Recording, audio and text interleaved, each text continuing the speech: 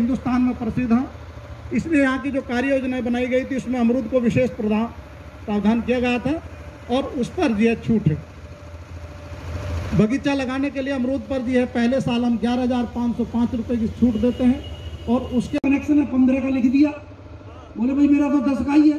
बोले, शाम को दफ्तर आ जाना, शाम को दफ्तर आ जाना और दफ्तर में जाके सेटिंग हो रही है। ऐसे लोगों के खिलाफ भी कार्रवाई हो रही है।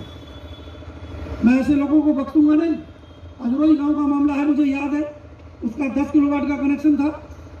सी साहब बैठे हैं। गए सी साहब? सुन रहे हैं? दस किलोवाट का कनेक्शन था और बिजली विभाग के गए, उसका लिख दिया पंद्रह किलोवाट। और वो रोता रह गया किसान की, नहीं साहब, पंद्रह का है ही नहीं। अरे कि तेरा लोड पंद्रह का बैठ रहा है। मैंने उसको विजिलेंस में भेज दिया। और तीसरे दिन जब विजिलेंस आई तो विजिलेंस लिख रही है दस किलो वाट तो बोलिए विजिलेंस सही है या ये बिजली वाले सही है? का आभार व्यक्त करता हूँ। और दूसरी चीज़, विधायक जी क्षेत्र की समस्या कहने में भी नहीं चुकते हैं। और उसको तब तक परसू करते हैं जब तक उसका निराकरण न हो जाए। मैं माननीय विधायक जी की बातें सुन लिया था। दो तीन मिनट पहले ही मैं आ गया था, मैं समझता हूँ तभी से उन्होंने समस्या शुरू करी थी। मैं उन्हें आश्वस्त करता हूँ कि मुख्य विकास अधिकारी की हैसियत के नाते उन समस्याओं को समाप्त तो नहीं कर पाऊँगा, लेकिन कम कर दूँगा। दूसरी चीज़ हम सभी किसान भाइयों से अपील करना चाहते हैं कि 11 तारीख से लेकर 21 तारीख तक हर गाँव में किसी न किसी दिन एक कैंप का आयोजन किया गया। वो कैंप का आयोजन इसलिए किया गया है कि जब भी कोई तहसील दिवस, थाना दिवस, कोई भी दिवस होता है, माननीय विधायक जी के यहाँ भी, प्रमुख जी के यहाँ भी, अन्य जनप्रतिनिधियों के यहाँ भी, कोई ना कोई अप्लीकेशन लेकर चला जाता है कि साहब मुझे विधवा पेंशन नहीं मिली, वृद्धा पेंशन नहीं मिली तो पारिवारिक लाभ नहीं मिला, जो भी योजनाएँ हैं।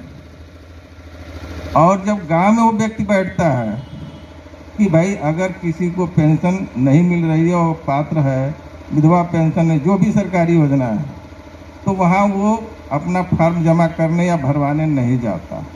तो आप सभी लोग, हमारे प्रबुद्ध किसान भाई आए हैं, मैं चाहूँगा कि अपने गाँव में ऐसे लाभार्थियों को, जो ब्लॉक से पता चल जाए किस गाँव में कैंप है ग्यारह से इक्कीस तक।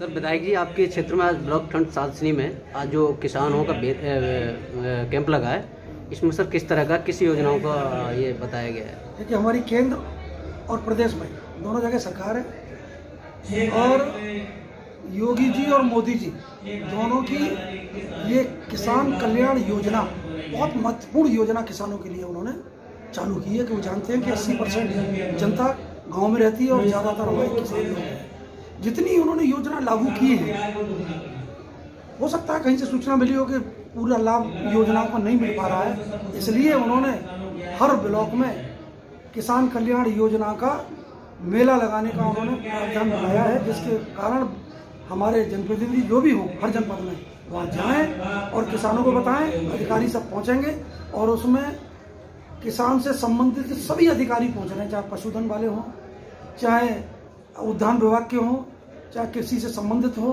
दुगने दुगना किसान दुगनी खेती कैसे होगी है ना?